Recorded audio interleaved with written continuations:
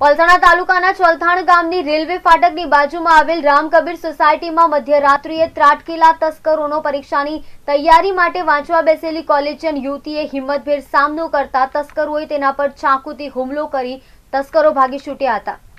પલસાણા તાલુકાના ચોલથાણ ગામની રેલવે ફાટકની બાજુમાં આવેલા રામકબીર સોસાયટીમાં રહેતા મહારાષ્ટ્રીયન પરિવારની દીકરી રીવા સ્વાઇન બારડોલીની સાયન્સ કોલેજના પહેલા વર્ષમાં અભ્યાસ કરે છે. હાલમાં પરીક્ષા હોવાને કારણે રિયા રાત્રિના દોઢ વાગ્યાના અરસામાં તે ઘરમાં લાઇટ ચાલુ રાખી અને વાંચતી હતી.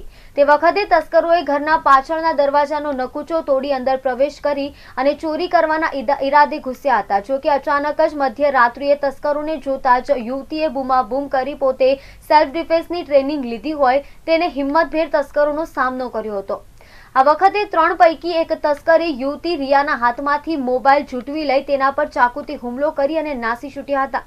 મધ્યરાત્રિએ તસ્કરો ઘૂસી જતા થયેલી બૂમાબૂમથી ઘરના અન્ય સભ્યો તેમજ આસપાસના રહીશો દોડી આવી ઇજાગ્રસ્ત યુવતીને સારવાર માટે નજીકની ખાનગી હોસ્પિટલમાં લઈ જવાતા તેના હાથના ભાગે ચોવીસ ટાંકા લેવા પડ્યા હતા.